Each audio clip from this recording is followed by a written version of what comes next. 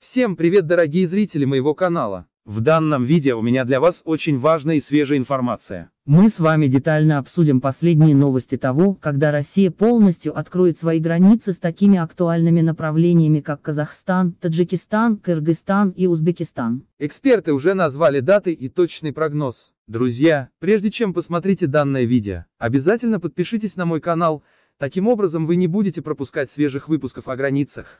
А также ставьте данному видео лайк, и тогда мы на самом деле посмотрим, сколько же людей на самом деле ждут открытия границ. Друзья, как заявляет множество экспертов в сфере открытия границ, это специалисты из области туризма и авиаперевозчики. Так вот, множество экспертов говорит об открытии границ на рубеже Нового года, ссылаясь на то, что в это время нужно будет многим людям ездить в гости или домой. Друзья, если у вас есть вопросы, обязательно пишите их в комментариях. Всем спасибо за просмотр.